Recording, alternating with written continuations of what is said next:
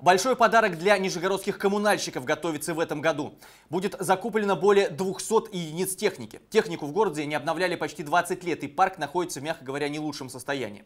Первые 30 единиц новой техники коммунальщикам вручил губернатор Глеб Никитин. Поздравляю вас с политехникой.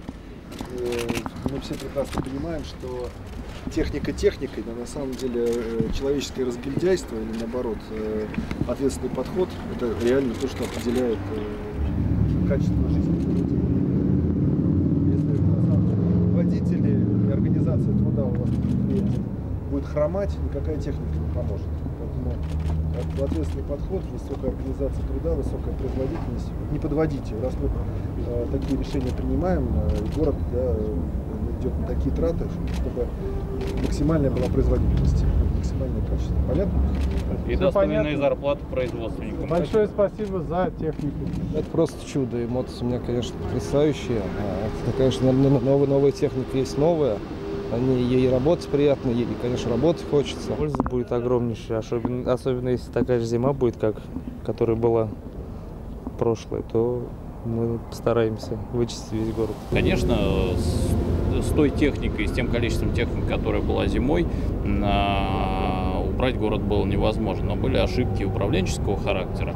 А сейчас проводим реорганизацию муниципальных предприятий, появляется новое муниципальное бюджетное учреждение, за которым будут закреплены отдельные территории, отрисовываются карты а, уборки дорог и уборки территорий. И, конечно, не отстаем от прогресса.